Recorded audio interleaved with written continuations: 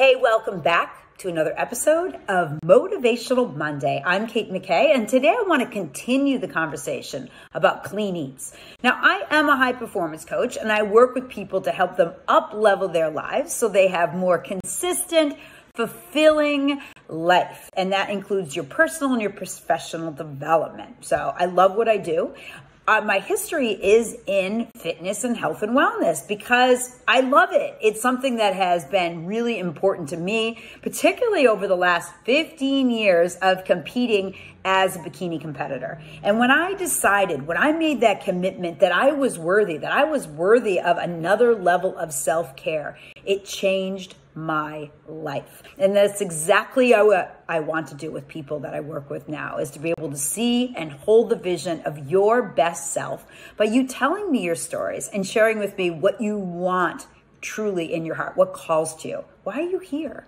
And I love discovering that in people, and I'm super nosy and ask a ton of questions. ask anyone who knows me. I love to know your why.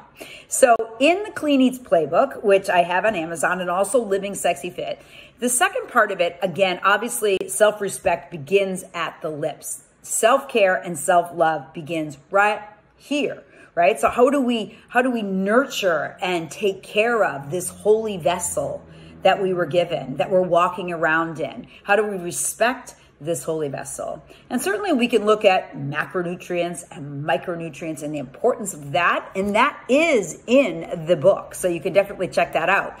But also i want to talk about just some real basic habits that i focus on when i'm getting ready for a competition. I'm getting ready for one now and that's this. Oh, we have to hydrate. So I'm asking, I'm going to make a request for you just to drink 64 ounces of water every day at minimum. Some people drink a ton of more than that. Some people drink coffee and that's it. So where are you in that spectrum? But at least getting 64 ounces minimum is a wonderful place to start and you can do it. I know you can.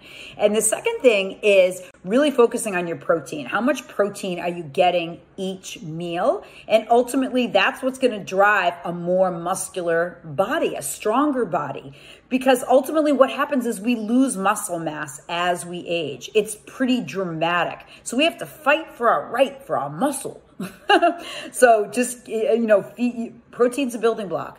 So we have to fuel ourselves. And no, peanut butter is not a protein. No, nuts aren't a protein. And no, there isn't that much protein in other foods that people often think, like cheese, right? We're talking about their primary macronutrient. What's in the protein? Those are all considered fats, but oftentimes people like will binge on those, think I'm eating protein. No, you're eating fat. It's going to get you fat if you eat a lot of it. so, really focusing on protein is really super important. And number three is really think about ways that you're you can honor yourself and and pay attention to the way you speak to yourself oftentimes we'll we'll talk to ourselves in ways that we never would dream of talking to our best friend our children our spouse. So you deserve that level of love and self-care. So i'm kate mckay and you know what? Thank you again for joining me on another motivational monday. If you're enjoying these i would love a like and i would love a share.